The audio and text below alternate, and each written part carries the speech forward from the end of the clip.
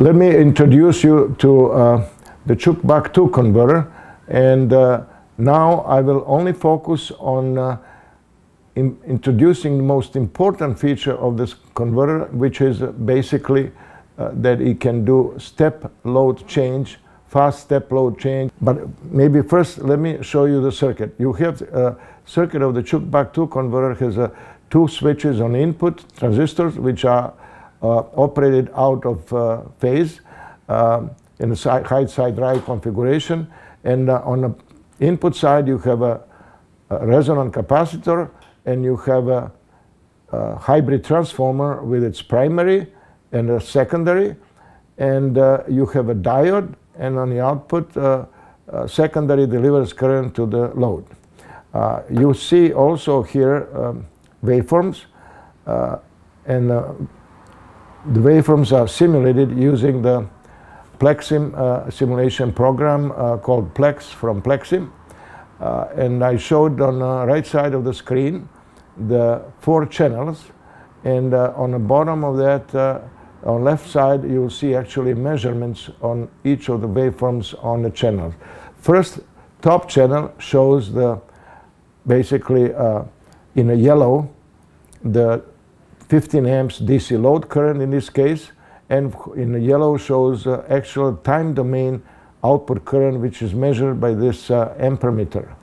And on the bottom you see in a little green, it's basically a drive of these two transistors which shows that the duty ratio as shown on the left hand side is 15% uh, and uh, second um, channel contains a primary current shown in uh, red and the primary current in red, as you can see, is having zero average. So there is an AC current waveform.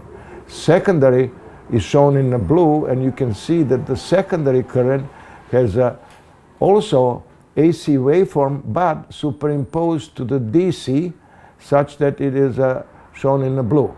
Now, the interesting part is that the diode current, as you can see, goes and it's split uh, to the left into primary current and to the right into secondary current. So clearly the diode current is the sum of the primary and secondary current which is shown on uh, uh, first uh, channel as a time domain waveform in uh, red. And you notice what is interesting is that uh, unique feature of this converter is that diode current start at zero during off interval and ends up at zero uh, during off interval. In this case, during 85% of the off time interval, the diode current starts at zero and current and zero voltage and stops at zero current and zero voltage and it therefore has zero switching losses.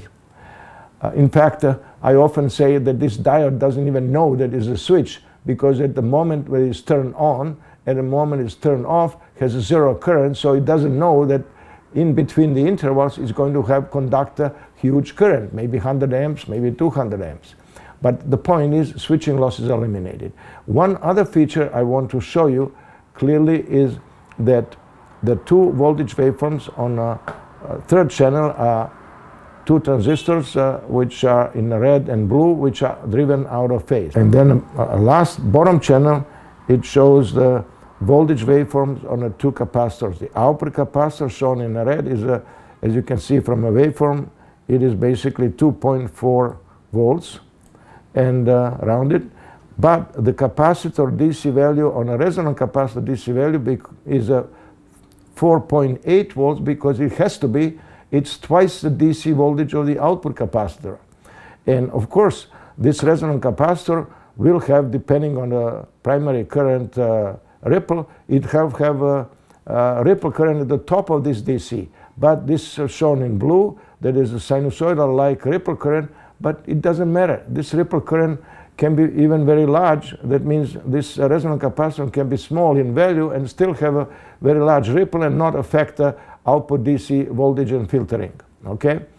And uh, one, now I want to show the fundamental feature of this converter.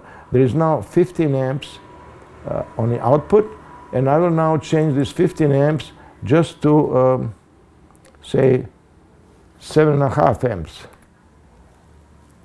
7.5 amps and you know what 7.5 amps So it is half of the DC load current. So you will see now on the top channel that uh, 15 amps will reduce down to seven and a half amps. Yeah, okay.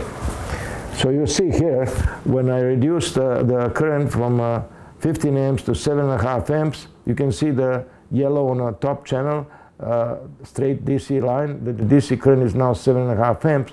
But notice what's important, that uh, instantaneous current drawn into the output is having superimposed sine wave and the diode current, the diode current is always starting at zero and ending up at zero, which means this converter never goes into discontinuous conduction mode, in a light mode. So it doesn't need regulation. It is automatic and it doesn't uh, cause a change of the voltage gain. So you can run it open loop and even in an open loop, uh, you can change suddenly the DC load current because now DC load current dictates what is going to be the current drawn very next instance in time, which is not happening in any other converters. And that is why this converter is the only one which can actually uh, meet requirements of voltage regulator module for a microprocessor, which require 48 volt to 1 volt and 100 amps. You can change 100 amps from 100 amps to 10 amps, and it's fine within a sub uh, uh, fraction of the uh, interval, off time interval, uh, it will settle to the new DC value. There are no storage in a converter because of this res unique resonance. And of course, the classical way of doing that is not using one converter, but using 12 buck converters, which are put in parallel and phase shifted in order to uh, meet the transient requirement. Worse yet, because they store energy in the DC of inductors, they have to uh, have uh, uh, energy storage, so they, they actually have a um, 10 or 20 cycles before they can um, go into the steady state, settle in a new steady state, which means that they have to operate at one megahertz or so, such that they have a 10 cycles or one microsecond so they can settle in a 10 microsecond. So you see, uh, and of course that's all these 12 buck converters in a, at 5 megahertz switching is replaced now with a single converter which switches at 100 kilohertz. So which one is better? You know, you have a 12 bad converters in parallel trying to uh, satisfy demand of a voltage regulator module for a microprocessor versus single converter. Now there is even better feature and that is notice this uh, current in a diode. Now if I have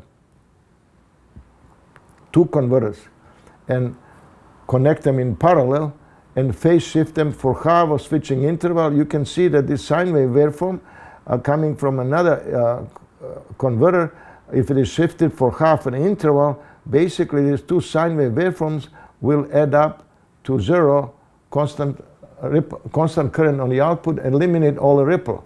Well, that's a huge benefit compared to the buck converters, which have 12 uh, parallel converters and lots of uh, microfarads to reduce the ripple. Here, that ripple is virtually zero with a uh, insignificant 5 10% of the capacitor used in the other case. So you have all advantages.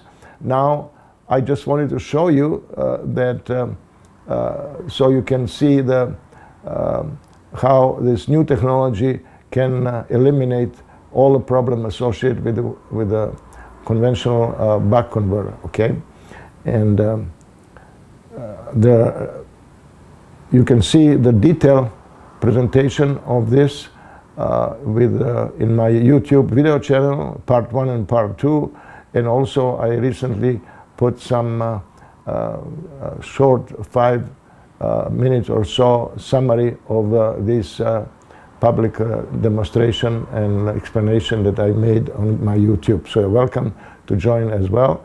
And of course, this will be posted as one of the highlights of my upcoming uh, masterclass uh, starting 25th to 20 through 27 of uh, September that I will be showing the advantages of this converter, describing uh, how it operates analytically, showing the simulation, and actually showing why this simulation program is, with my enhancement, ideal for simulating any converter. I will have a number of other converters I'll be simulating and showing using the simulation and explaining it.